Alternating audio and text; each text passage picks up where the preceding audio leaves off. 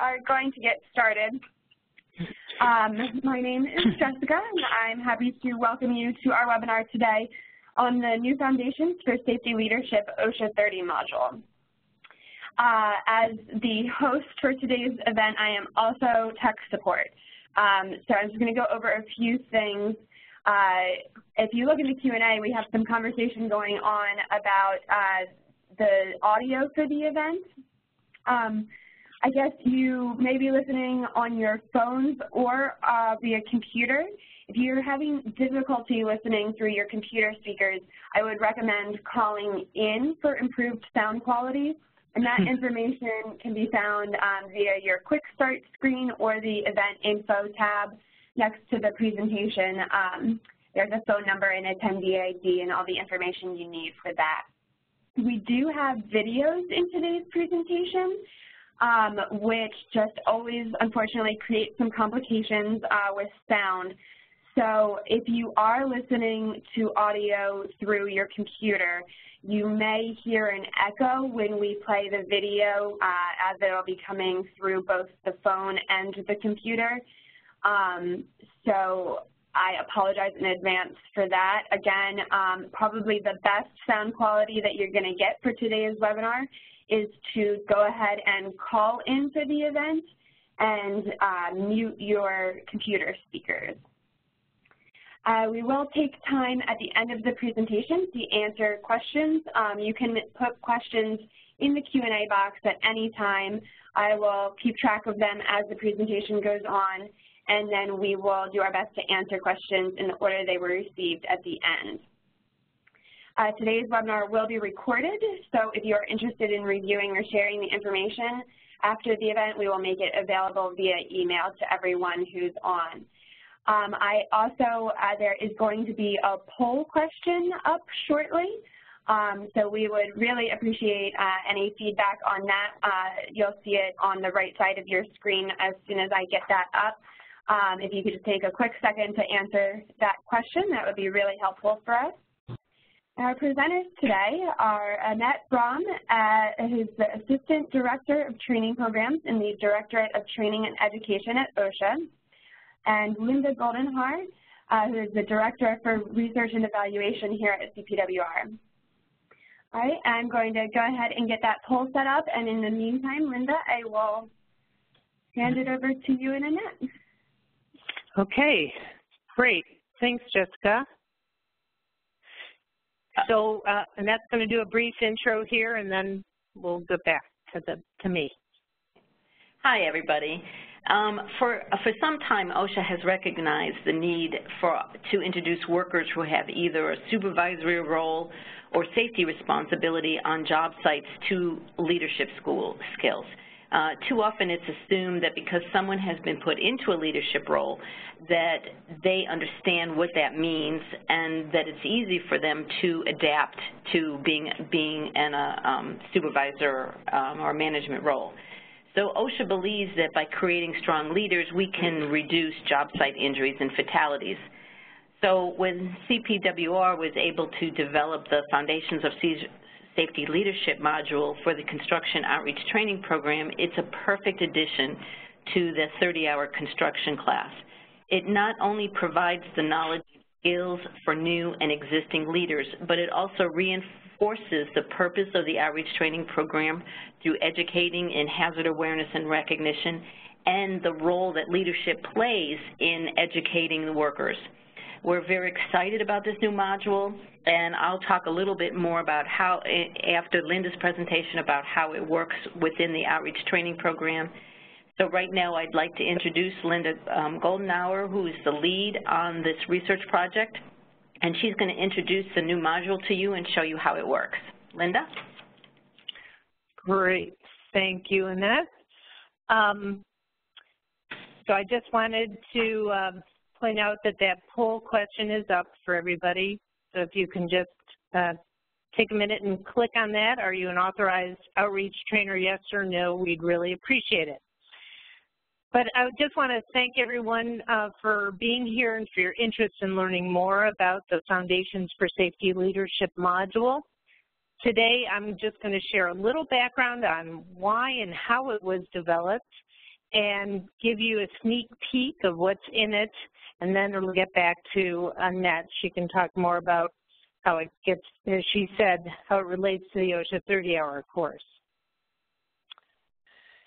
So in 2014, as part of our five-year cooperative agreement proposal to NIOSH, we included a research project with the goal of developing an evidence-based leadership module to be offered as an elective in the OSHA 30-hour course that would introduce trainees, particularly those with resp supervisory responsibilities, to a number of critical leadership skills that they could use to improve safety outcomes and safety climate.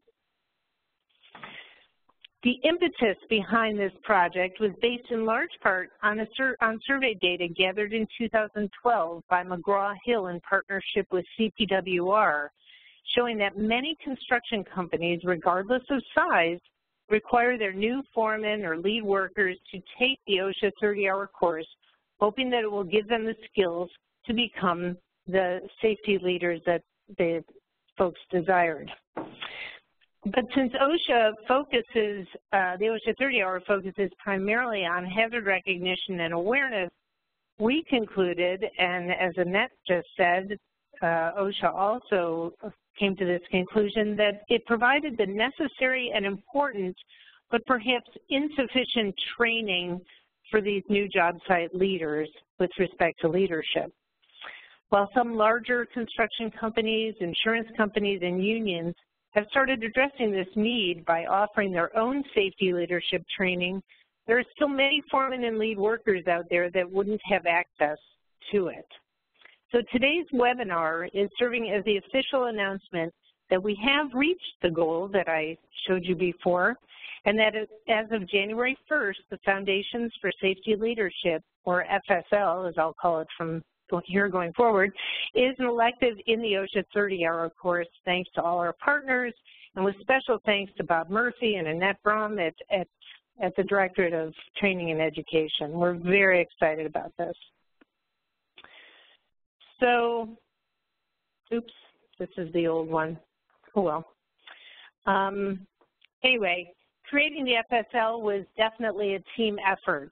And so this is the primary research team that was together uh, putting the um, FSL together, and there are other people on the research team in Boston and at West Virginia University who are helping with the evaluation.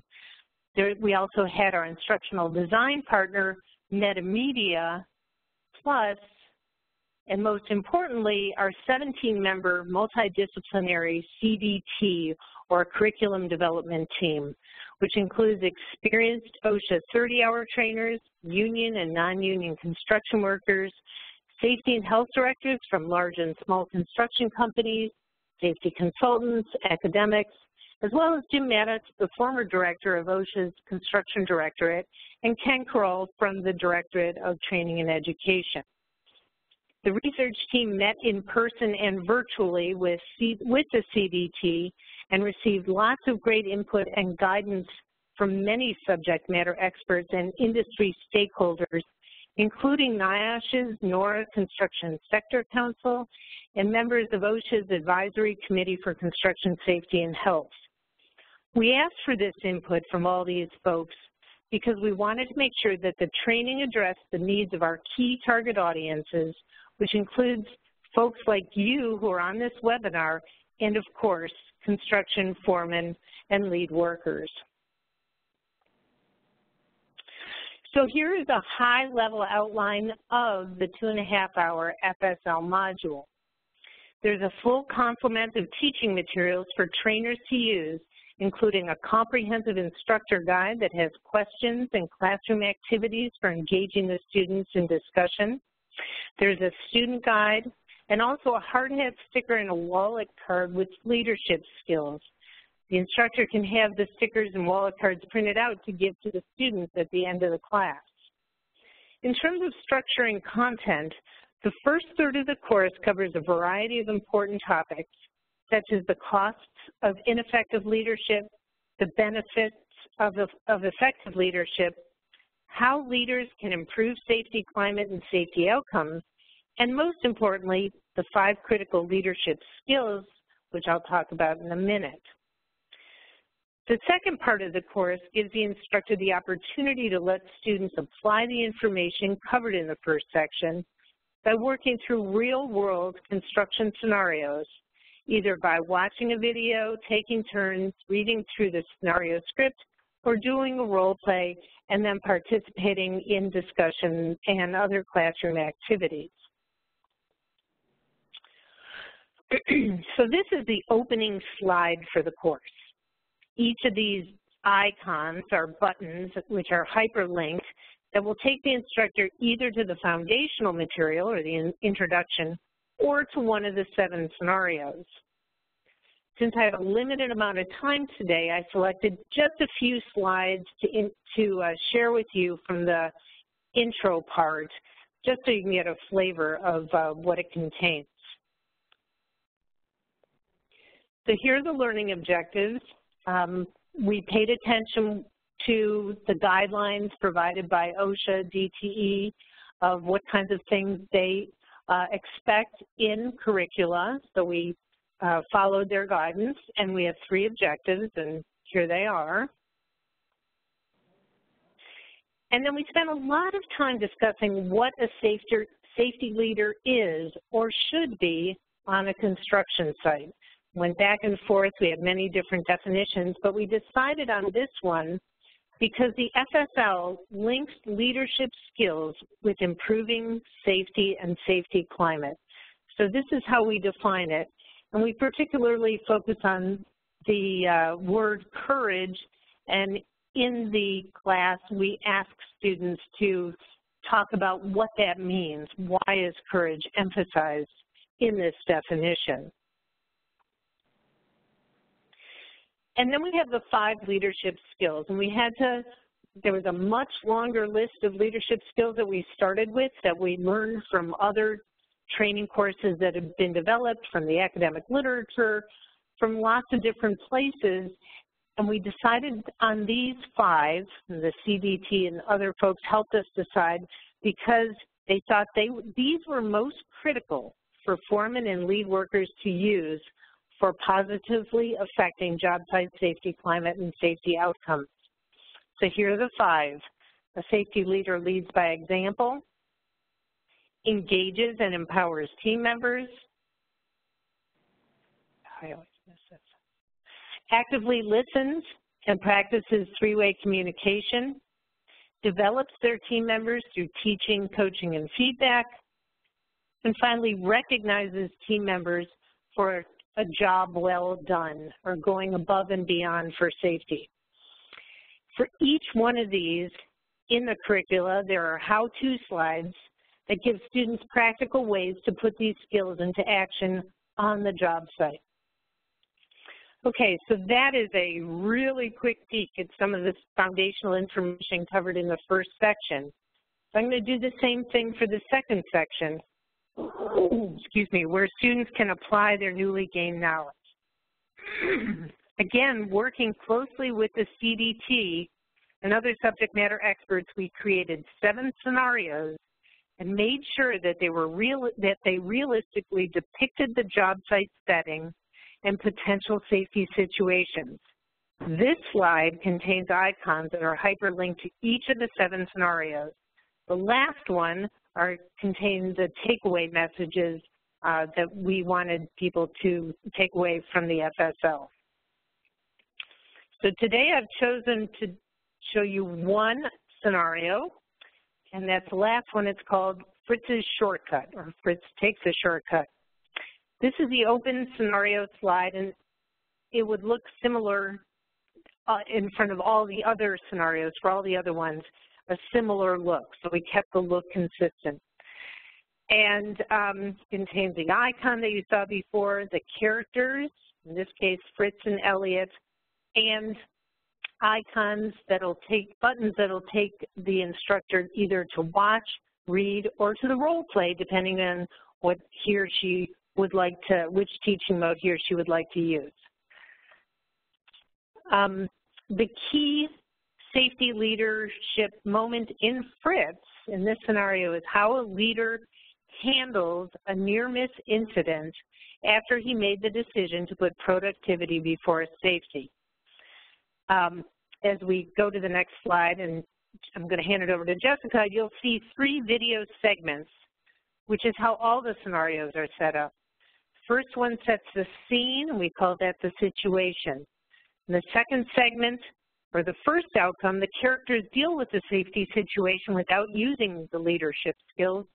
And then in the third segment, or the second outcome, the characters deal with the situation using one or more of the skills.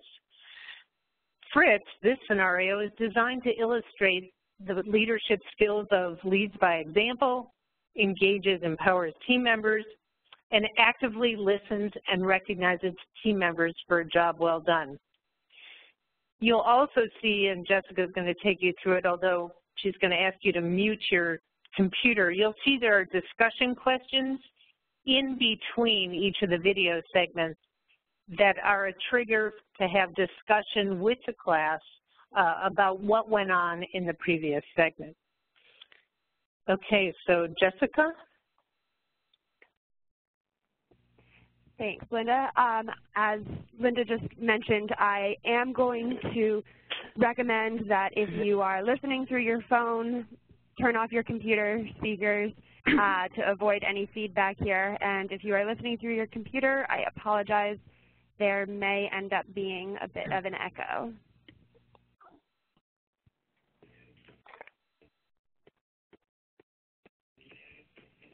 The crane operator gave Fritz Mighty Mechanical's foreman, the wire rope slings and shackles they will need to lift two HVAC units to the roof, and Fritz gave them to Elliot, an experienced worker. While inspecting the equipment, Elliot notices that one sling is severely kinked and a shackle is damaged.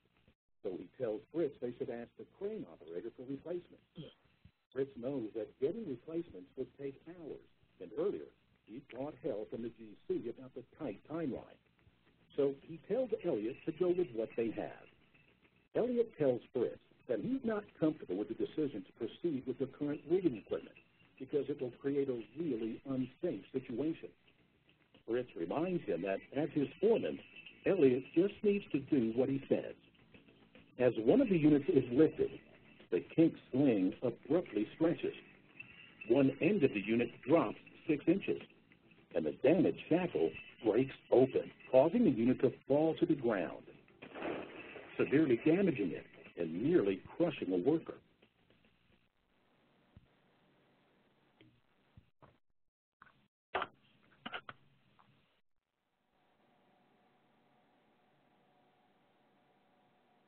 All right.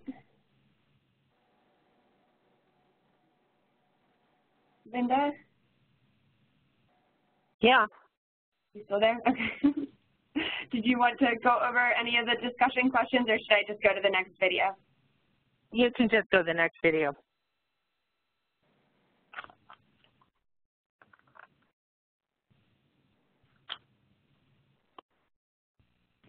Later, Fritz tells Elliot not to mention the damaged rigging equipment to anyone. Elliot is angry about Fritz's request, but he wants to keep his job.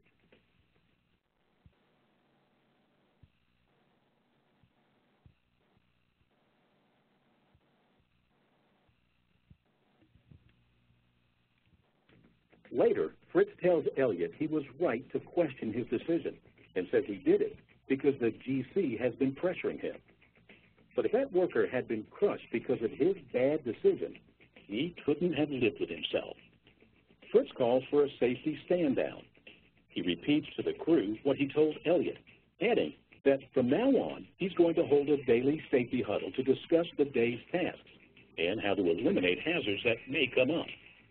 He says he has learned the hard way to listen to his crew's safety concerns and expects everyone to report unsafe situations. Fritz ends by saying that he doesn't want to lose any of them due to poor decisions, pride, or ego, some of the bad behaviors he displayed today.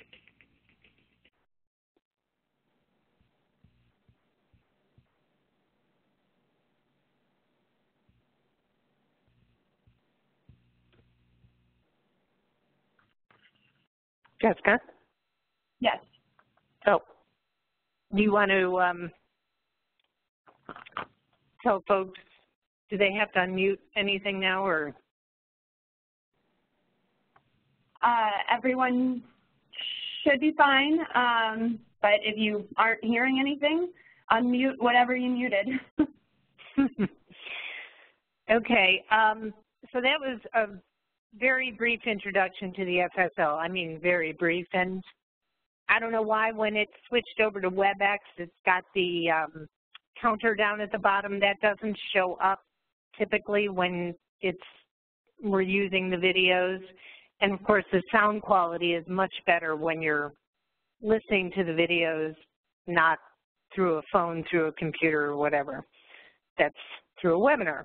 Anyway, so I just, um, I did do a longer webinar on the FSL back in March, and Jessica's going to send that link in the follow-up uh, email she'll send to everyone. So if you want a longer version to get more in depth before you decide to download the materials, you can do that. And I just wanted to share a couple of comments that you might find interesting. The first is from a corporate safety director and trainer who's been teaching the FSL for about six months. He's from Dimeo Construction. He visited the job site a month after the training to speak with a foreman about how they'd used the information from the FSL training, and here's the, what they told him. They initiated a smaller huddle approach. It used to be 100 people, and now it's 30 at the most, and how the FSL supported that. The second one, Diane Malakowski, Program Director of Region 1 OTI, had this to say after Bob uh, the corporate safety director from the first comment mentioned the FSL to her, or uh, taught the FSL to her outreach trainers and OTI instructors at Keene State University last week. So that was exciting. And the final quote is from a safety director from a company who is participating in our current evaluation activity of the FSL. So speaking of evaluation, before I end, I just want to let you know that our research team is still recruiting companies of, of certain sizes and types to participate in the evaluation study in Denver and Boston and Pittsburgh areas. So if you think that's something you'd like to do, you can contact me and, and I'll talk to you more about that. And also, uh, in addition to the FSL being a big uh, part of the uh, new OSHA 30-hour elect as an elective, which Annette's going to talk about, companies can also use it on their own or as part of their as part of their own training uh, that they do uh, at the company. So thank you for your time, attention, and interest in the FSL, and now I'll turn it over to Annette.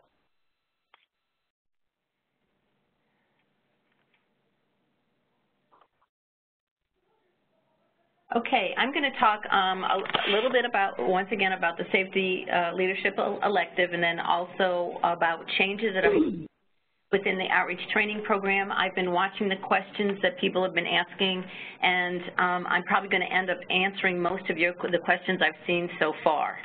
So, um, so the first is in talking about the Foundations for Safety Leadership, the, as, as uh, you're aware, those of you who are outreach trainers know that the outreach training program, it was developed to educate workers and employers in hazard and awareness and recognition. And so we felt like this leadership skill, this was a missing piece for us. And so when CPWR was able to uh, receive a grant to develop this material, this was a great opportunity for us to be able to implement um, uh, leadership skills into our program. So it's going to be an elective in the 30-hour construction outreach class, and somebody did ask about if it could be presented in the 10-hour, and, and no, it cannot. It's a two-and-a-half-hour module, and there is not time in the 10-hour Plus, the 10-hour is really meant for workers um, on a job site where the 30-hour is intended more for those who have some level of supervisory responsibility.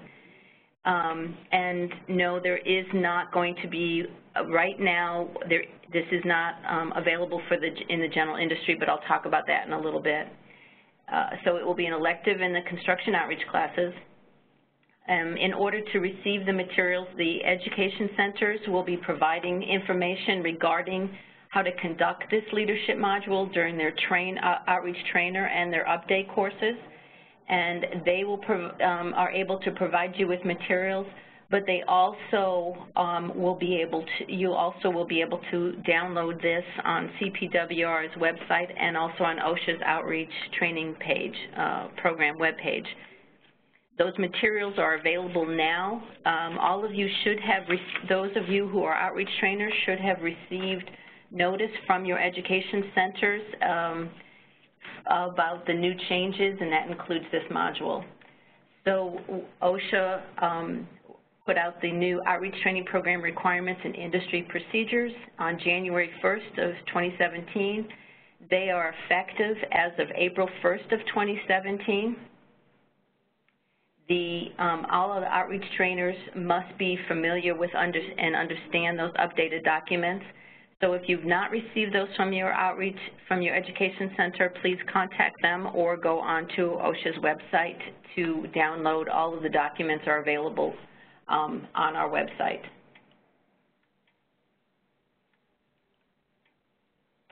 Some of the changes to the new to the outreach training program um, the, the trainer code of conduct, trainers may not cancel classes without reimbursing the fees, and they may not schedule multiple classes at the same time. Trainers uh, must make payment to their authorized training organization, otherwise known as your OSHA Training Institute Education Center, before you can actually receive your 10 and 30-hour cards that you're requesting. Um, we also are extending the requirement for professionalism to include your interactions with your um, OSHA Training Institute education centers, and that you as a, as a trainer, you must maintain possession of your outreach trainer card. You must display that trainer card at each of your outreach classes. We are doing this because, um, as many of you have probably heard, there have been numerous fraudulent cases um, of individuals who are not outreach trainers, who are um, teaching classes, uh, taking the individual's uh, money, and then they don't receive a card, and then they find and and find out that they don't aren't even OSHA authorized trainers. So we are now requiring that all trainers be in possession of their trainer card when they teach. Um, some record retention. The uh, clarification of the record retention requirements that they must, you must retain your records for five years, and those records have, are subject to verification upon request from OSHA or your education center. Um, it extends the replacement cards request from three years to five years. Since you are required to maintain your records for five years, we felt like it was only reasonable that um, individuals can get a replacement card for up to five years and you need to maintain an address to receive communications. We receive, OSHA receives hundreds of calls from um, individuals who've lost their cards and they don't know who their outreach trainer is and they believe that we maintain a master database of everybody who's ever taken the outreach training class, which uh, of course we have not. Last year we trained over 900,000 workers were trained in this program. And so trainers need to make sure that whoever they train, that they know how to get in touch with them. Um, and also, and the other part to that is that you, as a trainer, must make sure that you keep your address up to date with your education center. Uh, you, you must utilize the current outreach training program report, which all of you are familiar with, and then your sign-in sheets and topic outlines there's some more requirements for what must be maintained. Some of those uh, uh, must be written on your sign-in sheets, and some of that is the location, the actual city and state where the training is occurring, the date, and there are some other um, uh, things that must be put on your sign-in sheets.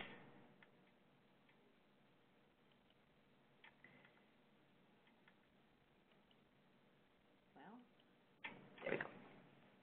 Contact hours, we've had a lot of questions related to contact hours, and I should point out that all of the changes in this in the um, new and the outreach requirements and the procedures documents have come about because of questions that we've received from our education centers, from our outreach trainers and also from when we've been in the process of doing investigations. Um, and so these are some of the things that have come up. So the contact hours does not include time that you may spend on a test or administrative matters. The daily student contact hour limit is still seven and a half hours, but there must be an eight hour break required between the sessions. This really happens more for our um, online providers um, where this has become an issue. We have reduced the minimum class segments from 60 minutes to 30 minutes. This was in particular a major issue for outreach trainers who were teaching in a classroom environment. So um, they have, uh, so we've reduced that. And you may not combine industry classes. You cannot teach a construction class and a general industry class at the same time.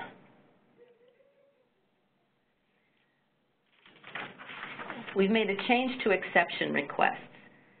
In the past, if you were requesting an exception on eh, things such as geographic jurisdiction, you wanted to teach um, overseas, out of OSHA's jurisdiction, you wanted to um, teach a class, you say you were teaching a, at a conference and you wanted to be able to teach longer than the seven and a half hours, your class size, um, or you were, were going to request to teach through video conferencing or webinar. Those uh, exception requests used to come to here to OSHA, but because our education centers work so closely with our outreach trainers, um, we are now delegating that down to that review and that approval authority to the education centers.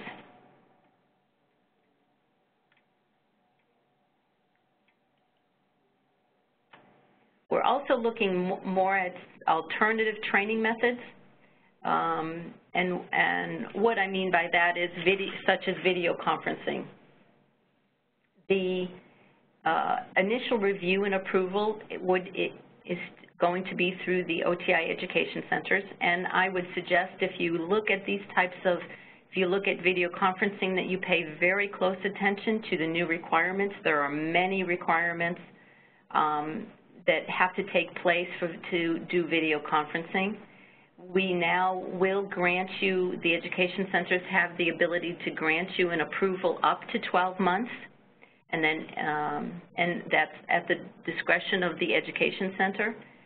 But for those new, some of those new requirements for video conferencing, um, it has to be in a classroom setting. So that means that you cannot do video conferencing for somebody who's sitting at their desk it has to actually be in a classroom setting. Has, you have to have proctors in each of those classrooms. You have to have sign-in sheets, and like I said, there are a lot of other requirements, so I would pay very close attention to that if you are looking at making these. Um, these. We also are going to be looking at industry-specific sector special emphasis topics.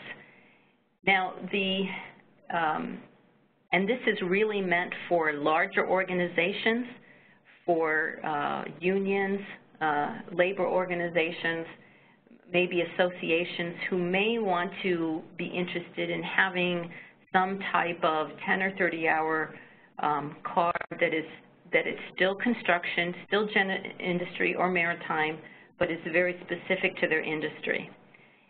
In order to get approval to do that, those um, organizations must submit their requests here to us at OSHA for our review. And along with that, they will, you will have to submit your topic outline, any training materials that you intend to use, and then once approved, those materials will be made available to all, all outreach trainers. Um, we want to ensure that because this program as you all know, is a voluntary program, and it is meant to train in hazards specific to a work environment. We want to ensure that no workers are left out of any of these special emphasis type uh, topics. And then um, OSHA will approve or work with you on how to improve your um, submittal, and it will require an annual review, revision and a review by OSHA. Outreach monitoring, training program monitoring. Um, trainers, as you all are very familiar, you receive record audits and training observations from the educate, your education centers. And so now trainers who do not provide advance notice of training when requested by an education center or respond to a records audit request will not be issued student course completion cards. So if you receive a, a letter from an education center and saying that you need to do a record, submit your records, you do not submit those records, you will not receive your um, course completion cards, and you will be subject to corrective action by OSHA. The primary outreach trainer uh, who is teaching the class may not use a trainer who's on OSHA's watch, watch list as an assistant trainer. They may not assist you in any way. If they're on the watch list, they've been suspended or revoked, and so um, you may not use them as assistants. If for suspensions, revocations, and, pro and probation, this is for all industries in which the trainer is authorized. So if you were um, an investigation, you're an, say you're an outreach trainer for construction and general industry, and the investigation was on um, construction, but you are also a general industry trainer, you are suspended from both. Um, we, we have found cases where somebody was it we were, where we were unaware that they were an outreach trainer in another industry and they were suspended and they um, tried to continue training. Now, there's very simple, just a couple things as far as the industry, actual industry procedures are concerned. This, partic this first one applies to all, whether you're construction, um, general industry, maritime, or disaster site. The prerequisite, um, as, you, as you should be aware, the prerequisite requirement is five years of safety experience related in that industry. So, but if you, you can use um, education as a substitution for two years of experience, we have made, um, clarified that, and that has to be a bachelor's degree or higher, and it must be in, in occupational safety and health or industrial hygiene. So if you have an environmental degree that does not count as um, a count as a substitution for two years. The construction specific is the new 30-hour elective for the Foundations of Safety Leadership and we um, will be asking, um, with, within the year, we'll probably be sending out a survey asking you if you're using this and how you're using it because we're very excited to see um, the, the usage of this and see how it's used. The disaster site worker was originally a 15-hour class. There is now also a seven and a half hour disaster site worker class. And then um, if any of you are from maritime, there used to be number designations for the 10 and 30-hour classes, and we no longer um, have that. It's now just going to be 10 and 30-hour. And then before I answer questions, the last um, slide is if you have any questions regarding the outreach training program requirements and procedures, please go to your authorizing training organization, which is your education, OSHA Training Institute Education Center where you took the course. If you have any industry-specific sector special emphasis topics, as we talked about, if you're looking at that type of program, doing something specific for your industry, Jason Gear is our outreach training program coordinator, and um, you can contact him. If you are getting questions from the public or you have any other types of questions, please go to outreach at dol.gov and, uh, and um, we will respond to your questions. Now, I know I have been watching that there's been a lot of questions coming about, so I hope that um, that uh, Jessica has been able to. It, yeah, I I think I've been keeping track. I've been trying to keep track and uh, mark which ones you already answered. Um, so I'm just going to start reading through them and see how far we can get. I apologize if I missed something that you did already answer, Annette. Um, Well, actually, I think I can look at them too, right? Uh, yes. Okay, so the first one I see is can this be presented in an OSHA 10 hour? And no, it cannot. Um, of course, if you wanted to, to teach it on top of your 10 hour, you, you have every ability to do that, but, but it won't fit in um, to the X, to the 10 hour class. Um, yes, uh, many of this, the leader definitions, many, much of the leadership. Um, right, can you read the question out loud before oh, you answer? I'm sorry. I'm on the screen. Sorry. Um, it seems the safety leader definitions would fit general industry as well as construction. Any thought or work toward a similar program for general industry?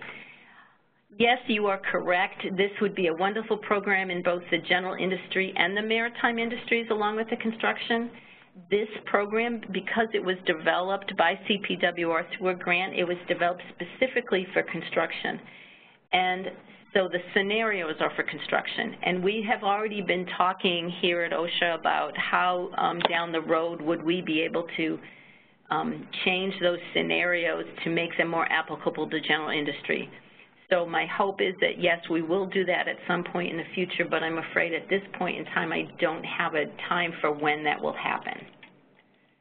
Um, a question, will this material, when will this material be available for us to use in our outreach courses? Um, you should have received this information um, already from your education center and like um, as I stated earlier, this is available on OSHA's website on the outreach training page um, and also outreach training program webpage and also on C CPWR. And your education centers can also assist you with getting those materials. Um, uh, Annette, um, speaking of getting the materials, um, someone just commented that the uh, link on the OSHA website might not be working. Oh, really? Um, I will. I will check that when we. You know. I'll check that. Thank you for letting me know because it was working last week. Okay. Um, and this next question is is um, probably is really more for Linda. Um, if, if I'm teaching a class and have a mix of supervisors and equipment operators, how do I add this module? Um, so in, he's saying workers and their supervisors?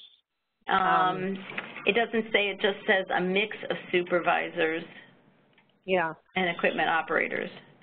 Well, it's certainly the case that um, non-supervisory personnel can and have benefited from learning the material and there are some worker um, characters in here who actually do take on leadership behaviors and practices. What I would suggest strongly that you not do is if you teach a class that you not have a worker and their supervisors. It's not good to mix um, or within a company have the safety director and other management level people in with the foremen who are learning it. So it's best to keep the classes um, single, you know, role type of folks, as long as there aren't differential in, you know, supervisory reporting and stuff like that, it's fine.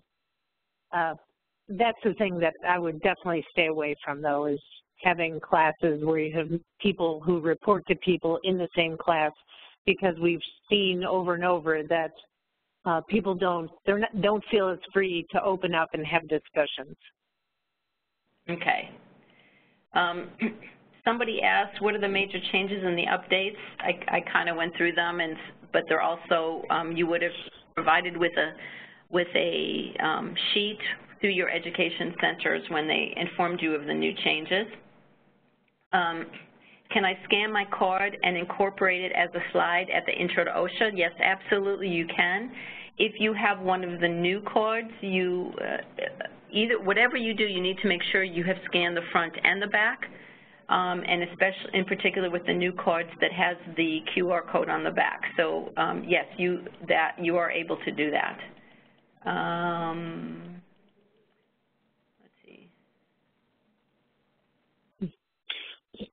very concerned about the quality of online providers.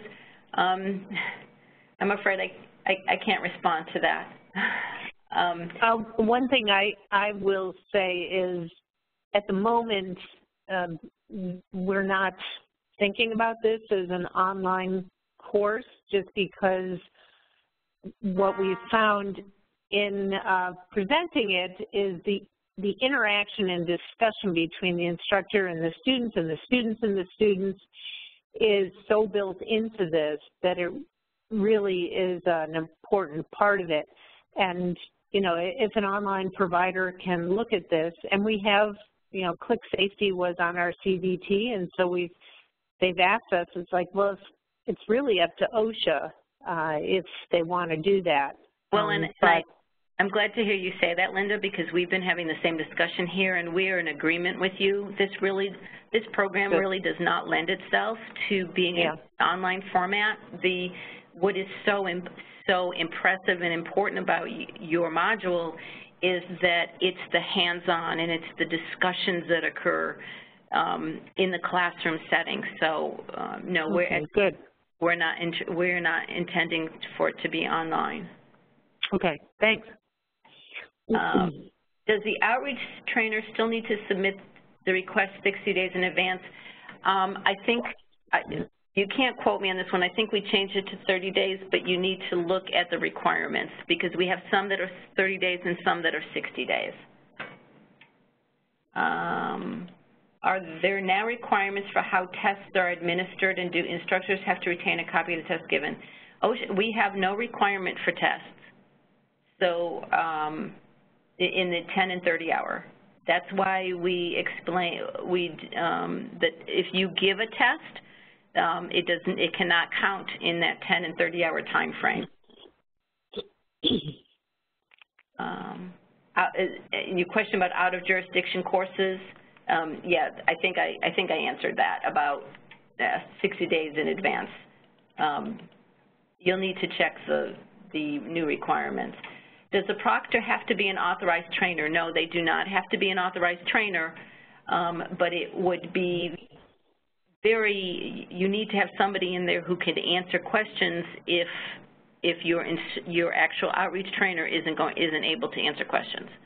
Um, but no, the proctor is is expected to be there to make sure students are in the classroom the entire time, that they sign the sign-in sheets, that they receive all of the materials, and that they are able to um, collect questions um, like on breaks and things if the instructor isn't there, but um, they don't have to be an authorized trainer. Um, can the sign-in sheet and student name and address be on the same document? Um, it, yes. Um, remember, you have to have a sign-in sheet for each day of class so you can't use one sign-in sheet for the whole week, but it, you can have your student names and addresses on the same document.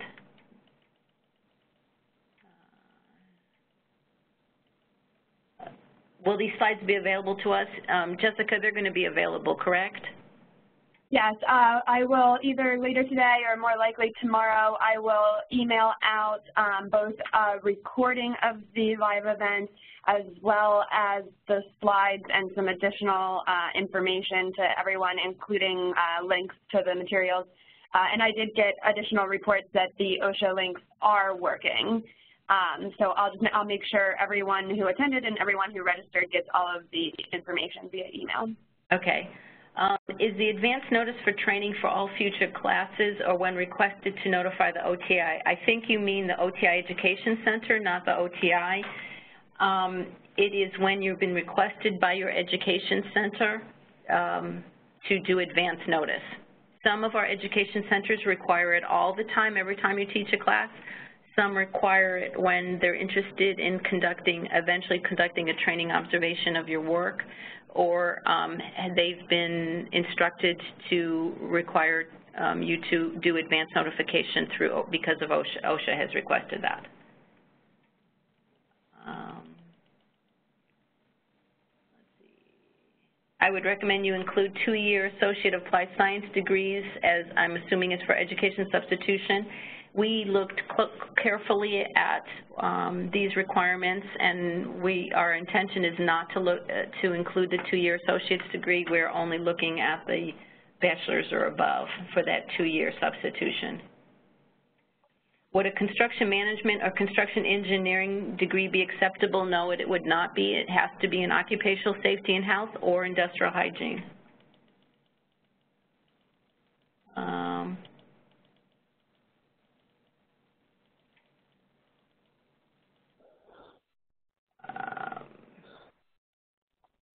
somebody, uh, Jessica, someone asked, will this training be available in Spanish at some point?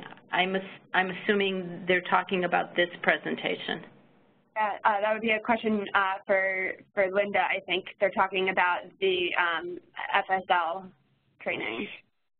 Yeah, uh, currently there is no um, emphasis to um, try and make this into a Spanish speaking, you know, um, module. It's not to say we wouldn't, and if we got feedback of how best to do that, that would be great. Um, but we are, just to let you know, we this everything is 508 compliant for those of you who have interest in the um, having it available for folks with disabilities. And we're hopefully going to also be doing closed captioning on the video, but we're still working on that.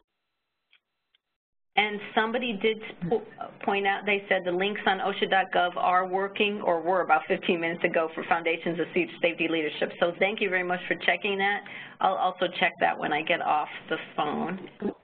Um, uh, Linda, somebody has asked, can this program be used as a standalone? Yeah, absolutely, yeah. And um, that was on my, my last point that companies. We've had lots of companies already using it, Dimeo Construction, uh, Warfel, others who have used it in their ongoing safety programs to add to it or even as a standalone otherwise. So uh, it is available on CPWR's website to download. Feel free to contact me uh, if you want more information. And we've had lots of company use, companies use it already. And so far, so good. It's been really great feedback.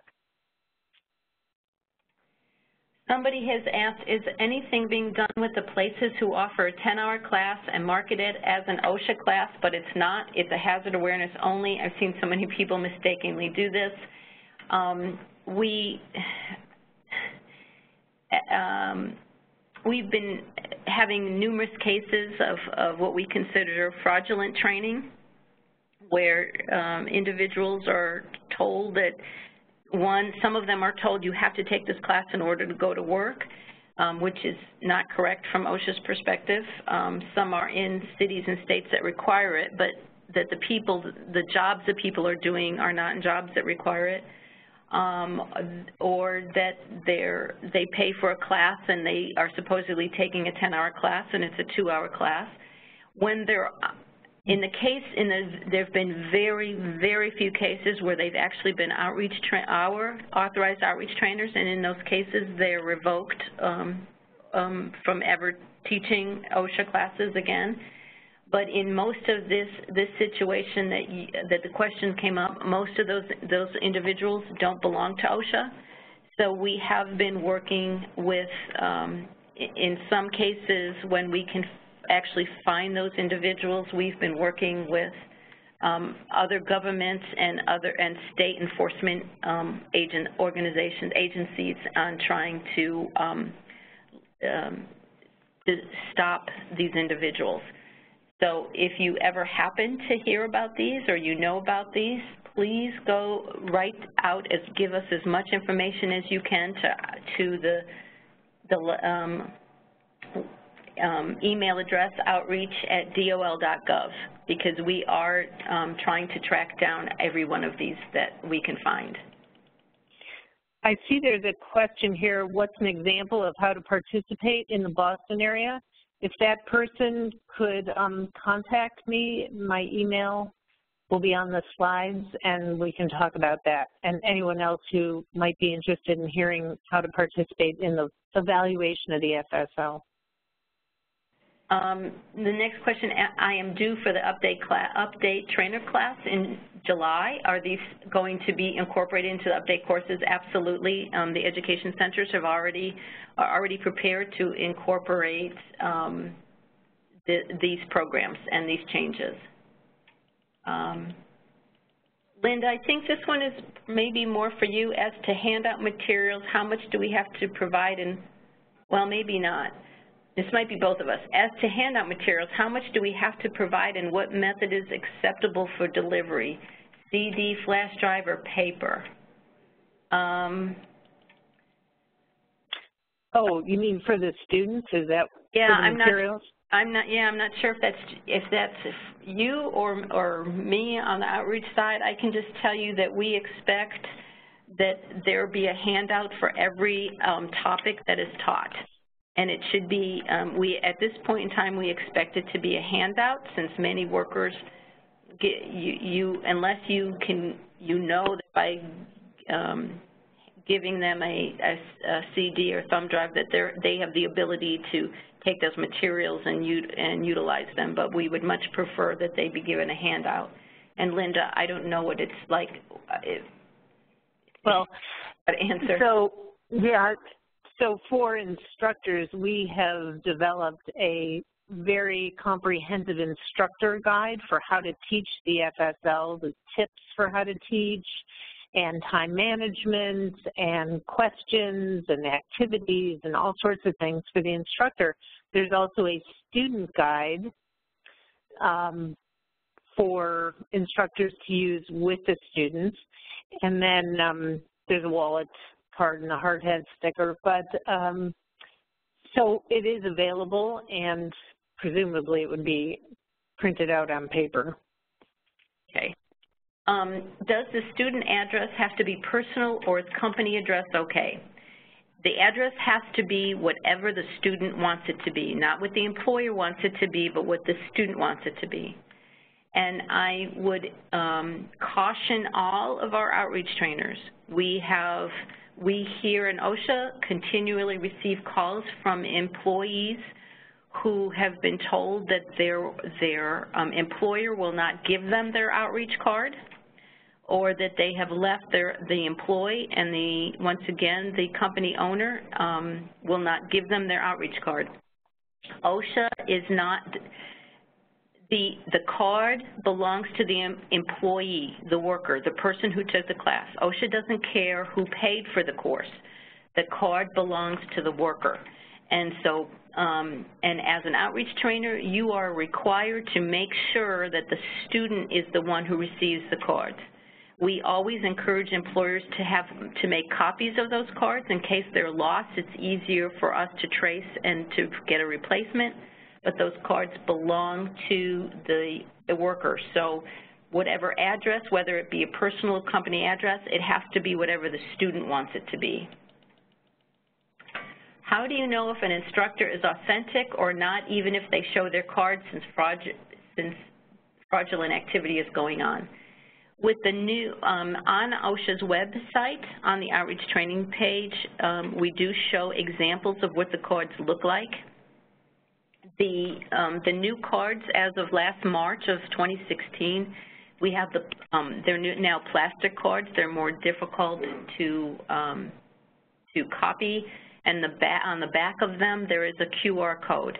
And if you scan that QR code, that will show, take you to the education center that authorized that card and will um, tell you that, that it is an authentic card. So that is, is one way.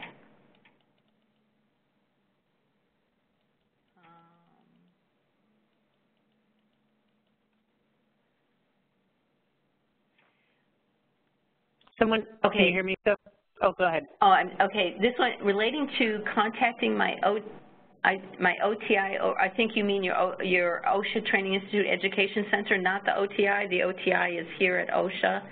Um, early for a class. Those of us that teach the OSHA 30 class in the community college sometimes add this class with one day or week notice. If I need to teach this class with one day notice, will my education center let this be enough time? You need to, um, we encourage the education centers in those situations to work with you. So you need to, uh, as soon as you know that's going to happen, call your education center on the phone, talk to them, and let them know, and then follow up with an email to make sure that you have it all documented. But we, we understand, and the education centers understand that that does happen. I see a question here about the hard hat stickers available for purchase. You're right, printing out the sticker won't make it stick to hard hats. What I've done in the past when I've presented this is um, sent them to Kinko's or there are other online printers and they're like very cheap to make them into um, stickers. And so the materials have the template and the PDF available that you can send for both the card and the stickers and get a, you know, whole roll of 500 of them for $10 or something like that. Pretty cheap. Right. What, um, how do we contact the panelists? I see that Jessica said that our, their, our contact information will be in the email that she sends out. And so please feel free to contact me if you have any questions related to the outreach program or the education center program. Um, I teach at community college. We have capacity to use Blackboard in the classroom. Computers are available. I'd like to use PDF versus handout. Any problem with that? Um, I'm, I'm very familiar with Blackboard, and I, I, don't, I don't see that as a problem, once again, as long as your students have access um, to be able to get that materials after they leave the classroom. You answered the question about hard hat stickers. Although there's one way at the end that says won't stickers cover potential defects and protective helmets. Um, my understanding is there is an OSHA ruling now that people can't have stickers all over their hard hats. Um, so, you know, that's not my area, but they still have hard hat stickers. So um, is it acceptable for the worker to carry a copy of their OSHA outreach card? Um, since for OSHA, the outreach training program, the 10 and 30 hour cards, this is a voluntary program for us. We do not mandate anybody to have this class. And also, it does not meet any of the OSHA training requirements that are found within the OSHA standards. So we do not require that a, a, worker carry their OSHA outreach card. Now, they may be working in a state or a city that has an, um, implemented a statute that requires the card, or they may, or their employer may require it. In that case, they need to speak with their individual um, state or city that that is requiring them to have their cards Um, the cards being provided by certain online providers is not the new cards. Can you explain, are they still valid? Yes, they are still valid, and, and by the way, the, the older paper cards will always be valid. They don't expire. The construction and general industry cards do not expire. Um, the maritime cards are the only ones that expire every five years. The reason that the online providers, all of the author, OSHA authorized online providers are still pro, um, process using the, um, providing the paper cards. And, and that is because of the issues we're having here at OSHA with trying to transfer that, that process um, to our education centers. We are working on that, and I'm, hoping, I'm hopeful within the next six months that the online providers will hopefully be able to provide the plastic cards. Up in, but for now, they still are the paper cards, and they are valid. Um, I'm searching OSHA.gov under the training requirements and materials link and cannot find the FSL manual material. Um, you, you need to be in the outreach training pay, outreach training program webpage within OSHA, the OSHA.gov, and um, that material, that's where we have linked that material. How does having a felony affect a trainer? What types of felony? How is that determined? Um, that's a difficult question to answer. I can just tell you that um, if you are an outreach trainer and then you um, um, then you have a felony, um, we, in previous cases, we have suspended those individuals, and it, but it depends on the type of, um, on exactly what happened. So if you have some specific questions and you want to call, call, call me, Jessica's going to give you my information. You're welcome to call me and we can discuss that further. Um,